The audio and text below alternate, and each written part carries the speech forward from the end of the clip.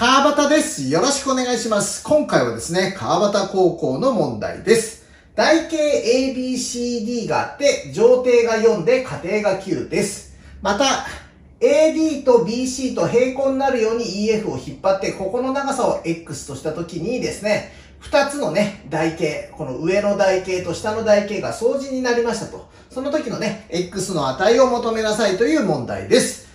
気づけば、一瞬にして解くことができます。ぜひ動画を止めてチャレンジしてみてください。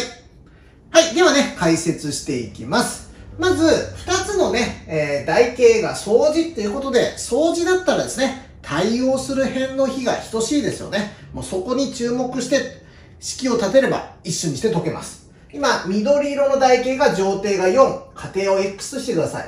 で、赤の台形がですね、まあ、わざわざ書く必要ないかもしれませんけども、こうね、赤の台形、ここね、EBCF がですね、ありまして、えここの上底が X、仮定が、上底が X、仮定が9という具合になります。ちょっと変だった。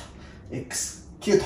そうすると、対応する辺が等しいので、対応する辺の比が等しいので、AD と EF が対応してるから、4対 X。